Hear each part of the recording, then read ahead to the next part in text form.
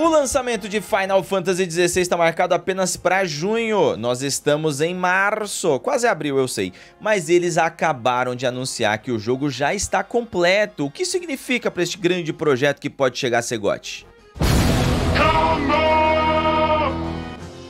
Já pensou perder o seu videogame por causa de um surto de energia? Proteja o seu console, TV e eletrônicos de um surto elétrico com o DPS da Clamper. Com o iClamper você evita que seu aparelho queime do nada e fica totalmente seguro. Link com desconto no comentário fixado. Sejam bem-vindos a mais um vídeo do Combo Infinito, eu sou Ariel. Toda vez que eu vejo que um jogo chegou a Gold, eu lembro do Cyberpunk. Desculpe. Por que você faz isso com você, cara? Não é, faça isso. Esse estigma tem que sumir.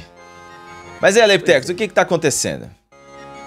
Bom, como você bem falou no início do, do, do vídeo, o Final Fantasy XVI, que é um dos jogos cogitados para ser o Game of the Year, né, ao lado de vários outros grandes nomes, Zelda, Starfield, é, Resident Evil 4, talvez Diablo, enfim.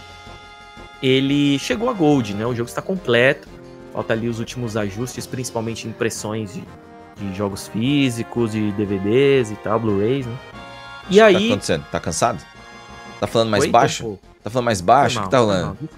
Sabe o que não cansa? A Clamper não cansa, cara. Ó, esse aparelho aqui, ó, ele é incansável, mano. Compra o seu Clamper aí com 10% de desconto no nosso link. Ó, tem um link com promoção para você aí também de outros produtos. Mas, Alepitecos, não fique cansado. É sexta-feira, eu sei. É difícil, mas vamos. É. O Final Fantasy XVI é um jogo que, aparentemente, até nos trailers que a gente viu, como esse que vocês estão vendo ao fundo, que vai ter a batalha contra com o Ifrit e o... Acho que é Garuda? Não lembro agora o nome do, do Akon do, do Vento. É Garuda. E, eles já estavam com uma cara de que o jogo estava muito bem encaminhado. Ah. Eu acho que eu, eu achei que ele, ele já estava próximo do final. Mas agora, mano, tipo, gol de dois meses antes, isso faz com que os caras possam focar em coisas que outros focam quando o jogo já tá, no, no já tá lançado, tá ligado? Como patches de day one, patches de day two e por aí vai, né? A gente sabe que isso acontece com frequência.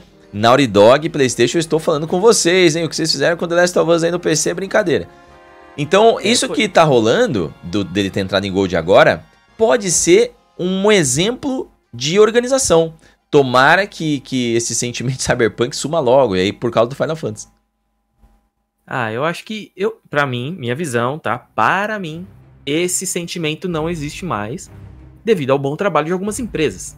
Mas é importante a gente ressaltar que basicamente todo jogo tem algum bug, alguma coisa que precisa ser resolvida é muito difícil, é muito raro, principalmente a gente que muitas das vezes jogamos jogos antes do, do lançamento, né? Então os patches de Day One ainda não estão disponíveis. A gente pega bastante bug e tal. E assim, honestamente, uma boa parte delas são corrigidas no Day One. Às vezes a gente traz alguma ideia, alguma, algum, algum erro que as pessoas falam, pô, mas eu não peguei esse erro. Provavelmente é. ele já foi corrigido. Erros que nem e, vêm no, no, na lista, né? E tem, e tem jogos que parecem 100% e do nada surgem alguns problemas, né? A Capcom falou é. hoje que o Resident Evil 4 Remake tem um problema raríssimo de desempenho e em save.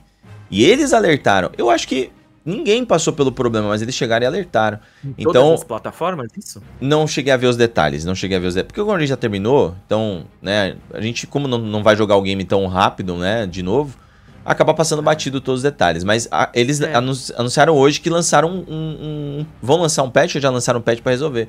Então não é toda empresa que tá ligada, né, e, e, e tem uma equipe boa o suficiente para tirar esses problemas da frente. A Square, pare... a Square do Final Fantasy XVI parece estar ligada nisso.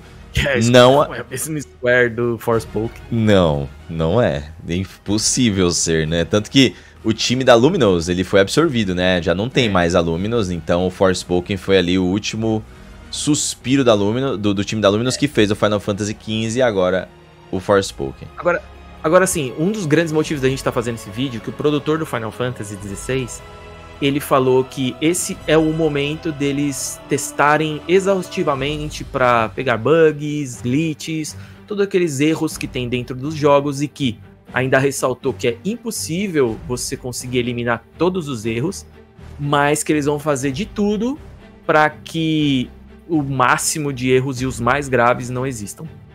Isso é importante. É. é Acho que toda é, empresa é, devia algo... ter esse cuidado. É, às vezes não dá para saber de todas as empresas, não dá para saber de todos os lançamentos, principalmente dos mais caóticos, porque o cronograma às vezes ele é muito cruel. O cara não tem tempo, ele termina o jogo faltando dias, faltando assim, minutos, vai, tipo, exagerando oh. pra caramba, pro lançamento. E aí não dá tempo de fazer a, os devidos testes. Normalmente os testes correm aí até durante. Mas é, é, é importante demais você ter esse tempo, ligado? Porque entregar um produto com o mínimo de defeito possível, ou defeitos graves zero, é o mínimo. Não é que é uma grande virtude de uma empresa fazer isso. Uhum. Isso é a minha cabeça. Para mim é o mínimo. Pra mim é o mínimo também. Porque você tem que entregar um produto de qualidade, porque o cara está pagando por isso. É um jogo. Certo? E é um jogo é, caro, né? Todos os jogos que custam aí os 300 e poucos reais aqui no Brasil, 60, 70 dólares lá, dólares lá fora. Eles precisam ter esse cuidado. Mano, não vai dar tempo de ter esse cuidado? Vocês vão ter que adiar o jogo. Não tem outra história. Tem que fazer isso. Porque Hoje é muito mais danoso você ter um lançamento caótico do que você ter um lançamento adiado. Porque senão depois você não recupera. Um lançamento adiado Verdade. e bem feito é menos problemático. Para o consumidor, que eu acho que é o ponto principal da indústria existir, a indústria existe porque tem gente que compra. Senão, Sim. não existiria. Ninguém faz game de qualidade porque gosta de fazer game de qualidade sem que ninguém compre. As pessoas aumentam a qualidade, evoluem tecnologia, porque isso é um atrativo, é, um, é, bem, é um, um algo bem apelativo para que o consumidor compre, tá é. ligado? Então ele é o cara que você precisa respeitar. Ele é o cara que você não pode é, vacilar com ele, é. consumidor. Então, é, eu entendo e eu acho que é muito danoso também para a desenvolvedora quando ele adia, porque ele tem que tirar do próprio bolso. O jogo, quando sai, aí é que ele vai pagar os cinco anos de desenvolvimento. Mas sabe tá o que ligado? não tem como recuperar? Então, a reputação. Calma, não terminei. Então, eu não. E por isso que eu ia concluir isso daí. Agora, se você lança um jogo problemático, além de você não recuperar a grana toda que você investiu, você vai ficar com o nome queimado na praça. É. Isso daí pode ser irreversível. Ó. A gente já viu empresas perdendo muita credibilidade, não só a CD Projekt, é que a CD Projekt é um, é um case muito astronômico. Mas tiveram várias empresas que lançaram jogos medianos para fracos ou horrorosos que você não ouve mais falar nos caras porque realmente perdeu a credibilidade e perde a credibilidade para o consumidor, para o mercado no geral, para o investidor, para todo mundo. Então é um perigo muito grande, sabe? infelizmente, o mercado, ele é, cara, ele é implacável. E tem que Se ser mesmo. Se não fizeram um bom trabalho, tem que ser, faz parte, né? A é. qualidade tá totalmente, é, diretamente proporcional à credibilidade, a, a, vendas, a um bom trabalho. Sim, e ó, eu acho que a Square tá preocupada também, e acho que por isso talvez eles estão tendo esse cuidado maior com Final Fantasy, apesar que eu acho que eles sempre terão cuidados com Final Fantasy, mas é, eu sinto que. O Final Fantasy é, é especial, né? É, eu sinto que muita, muita gente que não tá ligada é, totalmente na indústria pode associar o Forspoken ao Final Fantasy sim, porque é a mesma empresa.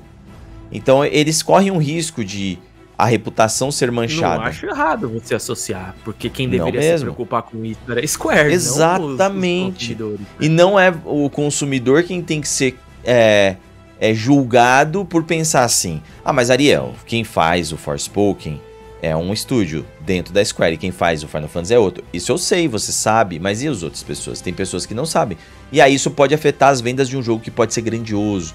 Então eu espero de verdade, e, e esse nem era o foco do vídeo, né? Mas eu espero de verdade que a Square, com esse jogo, ela perceba, no geral, que ela não pode mais fazer jogo meia boca. Porque ano passado ela lançou uma porrada de jogo meia boca. Ela trouxe o Valkyrie de volta, era meia boca. Ela trouxe o Star Ocean. Eu já percebi no primeiro trailer que era meia boca. Por mais que você que tá assistindo esse vídeo possa ter gostado, desculpa aí. Não é a opinião de todo mundo. O da Platino lá também. O da Platino também, o Babylon's Babylon Fall. Fall. O, depois de fazer um, um, Aquele outro jogo com a Platino da Square também lá, que eu esqueci o nome agora. E. e Automata. O, o Nier Automata, que foi incrível. Você vai e faz um Babylon Fall, pelo amor de Deus, né? E o Forspoken, tipo, é uma sequência de problemas absurdas, tá ligado? É. Antigamente você via Square, você associava a qualidade pura. Hoje Exatamente. você tem que hoje você tem que olhar e falar Square, OK, quem é que tá fazendo? É claro que a Square tem o time A, que tá fazendo Final Fantasy XVI, um time muito bom que trabalhou em Final Fantasy VII Remake, Kingdom Hearts. É mesmo? isso. É que daí. também é, é, o time A, né? Só que eles dividem, né? Porque o time Sim. A, entre aspas, o time A até outro dia era o Tetsuya Nomura e o, o Kitase, Kita, o que é o diretor. Kitase. Que é o do Final Fantasy VII original, né? O diretor. Uhum. E, e aí surgiu essa galera do Final Fantasy XIV, né? Que é o cara que tá fazendo os 16. Então é, a Square ganhou Yoshida, uma equipe a mais. Sim, o Yoshida tá muito bem, assim. E é Yoshida o nome dele, né? Yoshida. Uhum. Naoki Yoshida.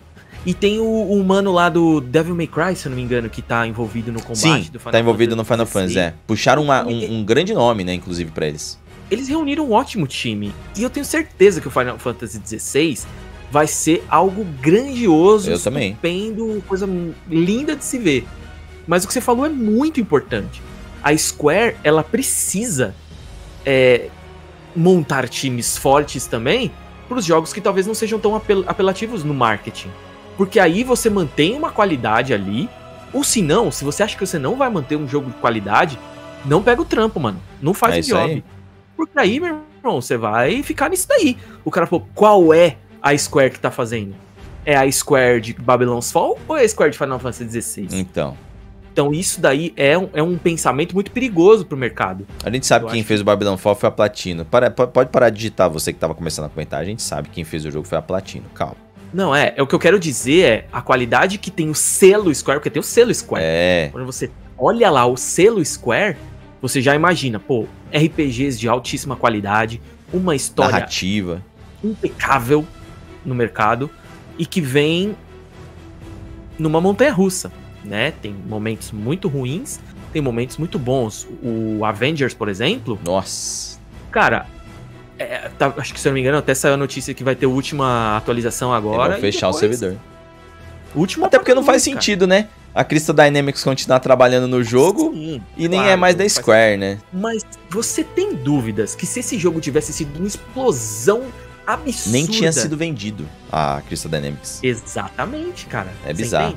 Assim, é, tem muita coisa lá dentro que precisa ser resolvida. Mas isso não tem nada a ver com Final Fantasy XVI. Eu acho que esse jogo vai ser magnânimo. Torço demais para isso. E espero que esse, que esse trampo dos caras de deixar o game redondo seja muito bem feito, cara. Não tem nada a ver. Os gamers merecem isso. Não tem nada a ver em termos de qualidade, porque a gente acha que vai ser muito bom, mas em termos de mercado tem tudo a ver. Inclusive, outra empresa que aprendeu muito bem que equipe principal é diferente de equipe secundária tentando fazer o que a principal faz sem ter a mesma experiência é a Capcom. Porque o Resident Evil 3 Remake foi feito por uma empresa terceira que uhum. não conseguiu dar a mesma atenção que a equipe principal do, do 2 Remake e do 4 Remake conseguem fazer. Quais são os próximos passos da Capcom nesse aspecto? Eu fico bastante curioso. Porque agora eles têm que se preocupar, essas empresas todas, a gerar outras equipes parecidas com as principais. É fazer uma escolinha ali dentro, é revelar novos produtores, novos diretores, para que você. Categoria novos de designers. Né? para você não perder o seu toque, tá ligado? O seu jeito de desenvolver jogos, porque senão você aos poucos, com o tempo, você se torna qualquer um. E quem faz isso muito bem é a Nintendo, por exemplo. E é isso, comentei o que vocês têm a dizer, dê uma olhada aí na promoção, oferta do dia. Você gosta de Final Fantasy? Se você não gostar, você não tava nesse vídeo. Tem um monte de coisa de Final Fantasy aí pra você no link da oferta exclusiva deste vídeo, beleza? E não se, inscreve, não se esquece de se inscrever no canal. Ou não se inscreve de se esquecer no canal. É isso, valeu! eu falei errado primeiro, eu só continuei. Se esquecer foi maravilhoso. Falou.